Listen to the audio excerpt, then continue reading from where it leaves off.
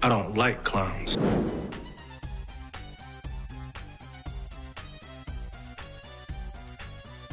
Good for you. I can't speak. The truth? Without some sort of punishment.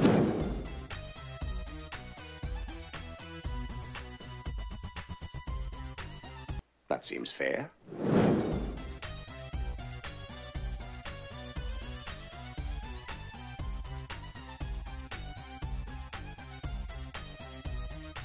You've got to be kidding.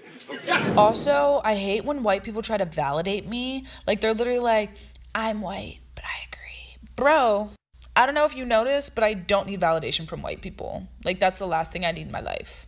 Like I feel like white people always try, but they miss. Like and I feel bad for y'all. Not that bad though, because your ancestors suck and you're stinky and evil. But bad enough where I want to call you out and tell you not to leave comments like this because it's crusty. Anyways, for all the bleached demons willing to learn, I see you. You're not as bad as the rest. can say anything she likes. Hey, Hannah. Hey! Biggest red flag on a gym guy. Biggest red flag. If I'm bigger than them. Hey, I have a question. It's pretty tall. What's the biggest red flag on a gym girl? Uh, probably when she hits legs every day. Okay, what about what about you? Um, when she comes in with a baseball cap every day.